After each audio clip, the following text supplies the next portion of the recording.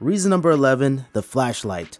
Having a flashlight on my Apple Watch Ultra has been super convenient, especially having it as an action button.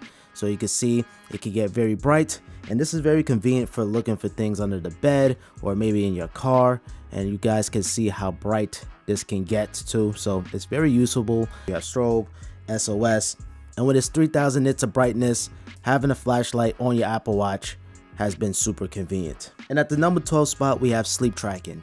Ever since the Apple Watch Ultra released, the Gen 1, I've been sleeping with my Apple Watch and at first it was a little weird doing that, but with the battery life being so incredible, I could wake up the next morning and be at an adequate percent for the entire day. But sleep tracking gives you very important data, see how long you've been in bed, how long you've been asleep, it tracks your heart rate, it checks your res it checks your respiratory rate sleeping, and also you can set different schedules to get the full 8 hours of sleep and yeah, ever since day one with the first generation Apple Watch Ultra, I always sleep with my Apple Watch and maybe this could be very handy for you. It shows how long I've been in bed, how long I've been asleep. I need to do better because only four hours of sleep is not really all that good. And by the way, this is the health app on your iPhone. It's gonna track everything within this app. And at the number 13 spot, we have locate park car. Let's say you park your car at a large parking lot and you've been in the store for hours and you just don't know where you park. I have a complication. This is native to the Apple Watch. You could be able to just tap on where you park your car. So yeah, I think this is utilizing the Compass app. So I use this feature time to time on my Apple Watch and the way how it determines on where you parked. If you use Apple CarPlay, in your car and you turn off the engine, Apple Maps is actually pinpointing where you park your car and it just transfer the data onto your Apple Watch. Or you can even use your phone, and I actually cannot show you guys because I don't want to show you guys my location. And if you could open up the maps and it shows you where you park your car, which is super convenient. Yeah, so I mean, basically this is technically an iPhone feature, but you could track it on your Apple Watch. But if you go into your iPhone and then you go into Maps, if I could find it, Maps, there you go. You want to be able to enable this. Show park location and I'm telling you it's going to save you so much time. Number 14 water depth. To see how deep you are underwater. Now i tested this out in florida and i gotta say this was pretty cool. To be able to see how deep you are underwater which was very convenient. Now unfortunately i cannot show you guys right now but i'm gonna show you guys the b-roll while i was in florida and um, I would say it was pretty cool and I'm happy to record it so you can show you guys. And I also appreciate how the iPhones have an IP rating so I was able to get some underwater shots even though Apple does not recommend that at all. And if it gets water damage Apple's not going to be able to fix it for you but I was willing to take that risk. It is cool to see the depth on your Apple Watch especially if you're a scuba diver or if you like snorkeling I think that's going to be pretty. At the number 15 spot, we actually have walkie talkie. Now, this isn't a new feature by any means, but I just now got the hang of it. And more and more people are getting Apple Watches that I know. So now you can instantly contact your friends. And sometimes people don't have the Apple Watch on, or maybe they're at a busy environment, or maybe you have uh, Do Not Disturb enable. But essentially, walkie talkie is going to allow you to talk to your friends instantaneously without you know, calling them, FaceTiming them, waiting for them to answer.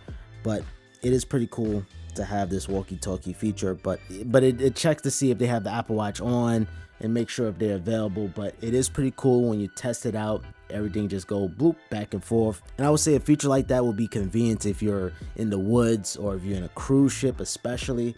It's better instead of buying those bulky walkie-talkies that you typically have, which I had one of those when I was a kid, you could just use your Apple Watch, which is pretty cool. Now at the number 16 spot, remote control for TV. Now this is gonna be only for Apple TV owners. So I have multiple Apple TVs in the house, but I'm gonna connect to mine and you could be able to turn on the TV by pressing that TV icon. And right now as we speak, my TV is turning on so if you're in a position where you cannot reach for the remote or you can't find it, you could quickly control your Apple TV, whether you're watching Netflix, YouTube, Hulu, whatever the case may be. Now, the only thing I don't like about this, you cannot control the volume. It would have been nice if you can, but at least you have all the fundamental controls. Number 16, cannot believe I'm saying this, but Siri. Siri, I know could be lacking at times, and there she goes right there. Uh, but it is very cool to have Siri. So for instance, let's say you're writing something down and you have that brain freeze, you don't even know how to spell this certain word. So in that situation, all you do, you raise your wrist, Spell sophistication. Sophistication. S O P H I S T I C A T I O N. And there you go. So very instantly, you don't have to grab your phone and then try to look it up or you know pressing the hole in the side button. All you do, you raise your wrist and then you can just ask anything you want. And that can go for math calculations, the weather outside, what does this word mean? Siri could be very, very useful at times. It is pretty cool to ask anything and um, be able to get the answer pretty much right away. And especially on device uh, intelligence too, that's pretty cool. Now on the 18th spot, we have health. Health on the Apple Watch has been pretty awesome. So you can check your EKG, uh, and actually I'm not gonna do that right now. You have your blood oxygen. I know Apple is at war right now with that blood oxygen sensor, but um, thankfully I still have it here working.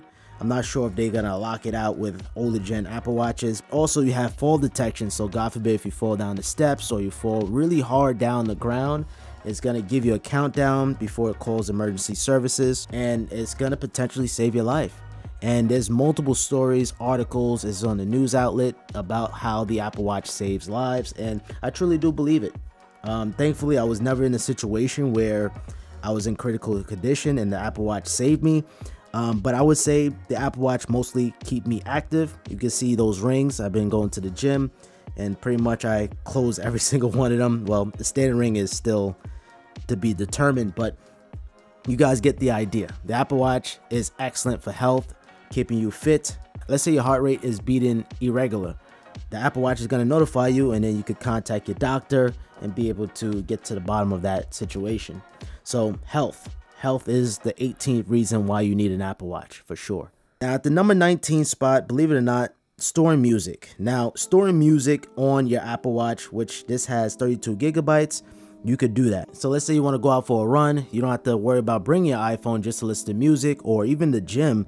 Because believe it or not, having a phone at the gym could be very distracting. You get notifications.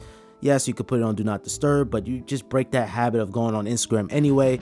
So having just your Apple Watch just to listen to music and just focus on your workout, I think it's going to be very beneficial for you, especially for storing music, storing podcasts. You could do that on your Apple Watch with no problem. Now, I never really, I always bring my phone to the gym. I'm not that distracted, but that might be a feature, that might be a feature that you might be interested. And essentially just walk out the door with your Apple Watch, with your AirPods, and that's it. You're good to go. And that leads me to the final, final reason why you need an Apple Watch, cellular service. To be able to activate your Apple Watch, make phone calls, text messages, essentially, you don't need to bring your iPhone. The Apple Watch, it's its own device. Although it is an accessory and you need an iPhone to set it up, it could be an independent device on certain situations and um, and I think that's pretty cool. Now, me personally, I don't see the need of it, but for you, it could be very beneficial if you're a person that always leaves your phone at home. You could be able to still make important phone calls, text messages, but you're just not going to be able to do Instagram or all the social media apps. Although you can, it's on the watch store, but it's not the best experience. And the activation is only $10 extra onto your phone bill, which is not bad. So you don't have to spend another $50 or another $100 to add on a line. It's just $10 or $5. Sometimes you might get a deal. You might even say to yourself, why not? May as well activate it. It's cheap and you get that peace of mind because if you lose your phone or you left it at home, you can always make your phone call on your Apple Watch. Before I end out this video, I want to discuss this Apple Watch band. A lot of you guys been asking me what's the name of this band and it's just a titanium. It's not real titanium. I believe it's stainless steel, but I got it off of Amazon. It was real cheap. I think it was like 20 bucks, but it looks really good and it complements the design of the Apple Watch Ultra and even my iPhone 15 Pro Max here too as you guys can see so um, I throw like an description to it and also, you guys are probably confused maybe on why I started this video from number 11 to 20. And that's because I already made reasons why you need an Apple Watch part 1. And I started off with number 1 to 10. So now starting this video from number 11 to 20, it just makes the most sense because I'm not starting all over again. It's 10 more reasons why you need an Apple Watch. 10 more reasons why you need an Apple Watch. Thank you guys so much for watching. I really do appreciate it. Make sure you guys follow me on Instagram, TikTok, and on X at Simply Pops. And make sure you guys comment down below this emoji if you guys watch it this far. And other than that, I hope you all have a simple day. Peace.